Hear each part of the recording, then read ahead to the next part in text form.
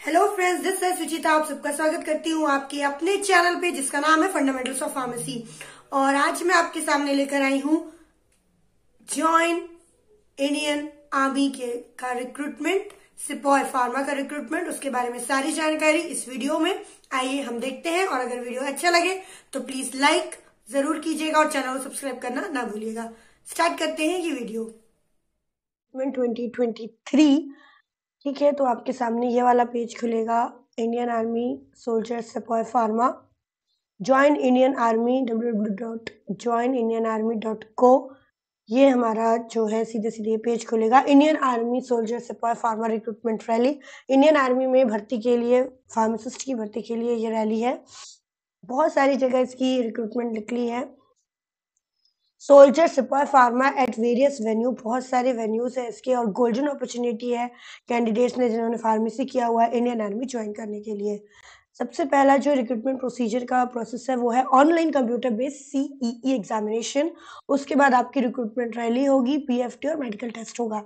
Examination fee रहेगी two fifty through online mode and the candidate on successful filling the application will directed to portal through the link on the website. जब आप भर लेंगे तो आपको directly S B portal पर ले जाया जाएगा आपका फ़ी पे करने के लिए। नेम आपकी पोस्ट की सोल्जर सिपाही फार्मा एजुकेशन क्वालिफिकेशन चाहिए यहाँ पर।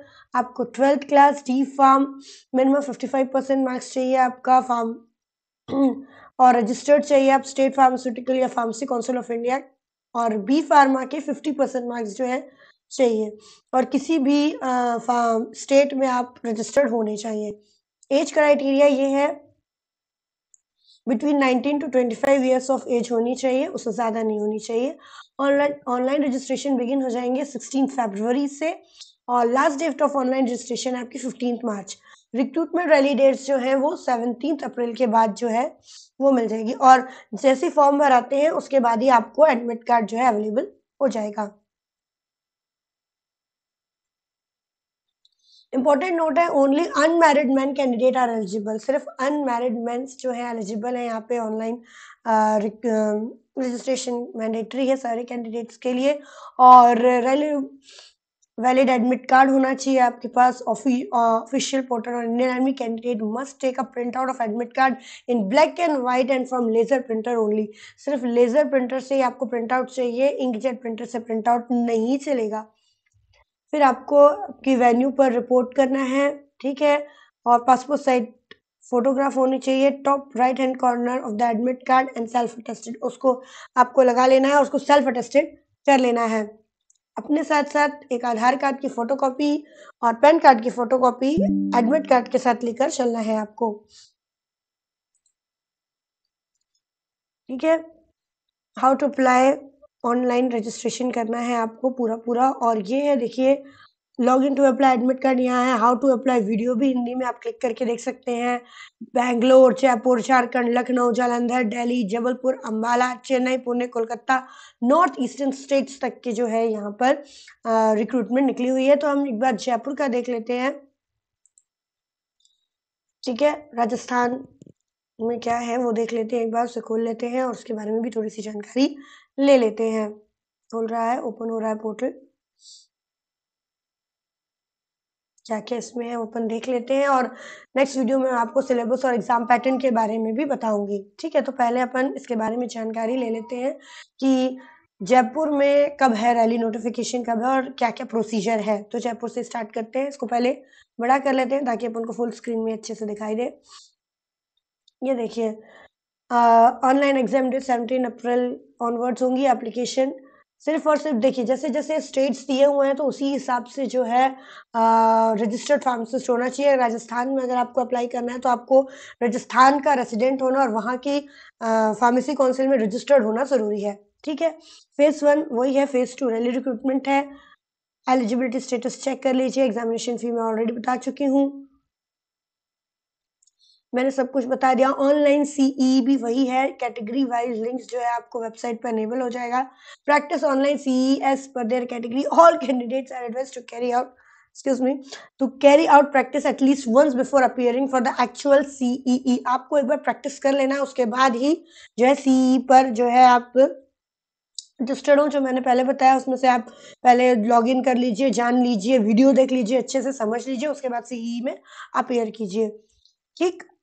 एडमिट कार्ड आपको लेना है, आधार कार्ड उसके साथ है। एलिजिबिलिटी क्राइटेरिया बता देते हैं, सुपर फार्मा का जो है एज पर मेडिकल स्टैंडर्ड होनी चाहिए।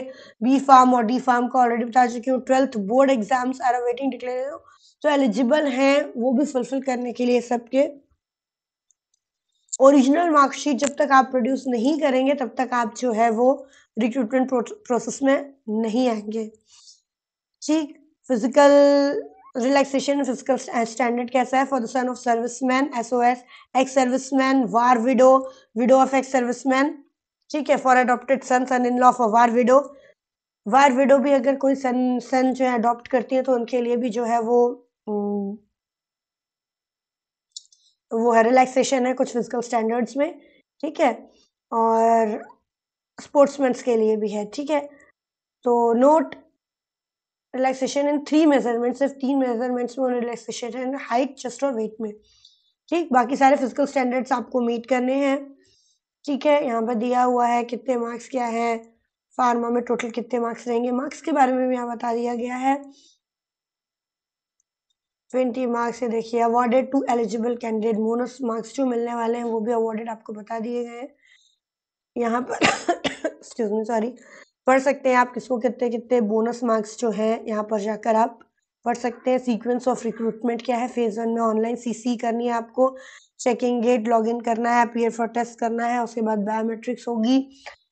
Marking pattern for online test है। Full marks for every correct answer nil marks for unattempt question अब इसमें मैं आपको जो है एग्जामिनेशन पैटर्न बता दे रही हूँ। इनडायरेक्टली कि आपको फुल मार्क्स के करेक्ट आंसर करने के लिए फुल मार्क्स मिलेंगे। कोई भी नेगेटिव आंसर नहीं है। Twenty five marks shall be deducted for every attempt wrong answers unattempted question के लिए जो है वो निल मार्क्स है और अगर आप अटेम्प्ट कर रहे हैं और गलत हो रहा है तो उसके लिए नेगेटिव मार्किंग यहाँ पर है।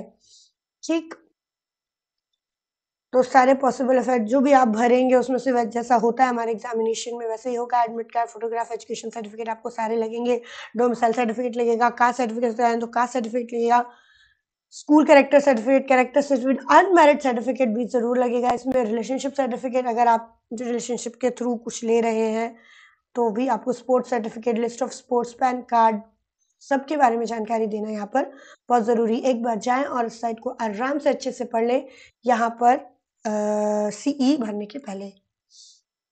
तो ये रहा आपका राजस्थान के बारे में मैंने आपको बता दिया। राजस्थान गवर्नमेंट राजस्थान के लिए जो क्राइटेरिया या वो सब है, वैसे सबके लिए एक ही जैसे हैं। बस राजस्थान है तो राजस्थान वाले कैंडिडेट यहाँ पर अप्लाई सारी जो है रिक्वायरमेंट्स आपको कहाँ से देखनी है, कहाँ पूरी जानकारी मिलेगी, मैंने आपको इस वीडियो में बता दिया है।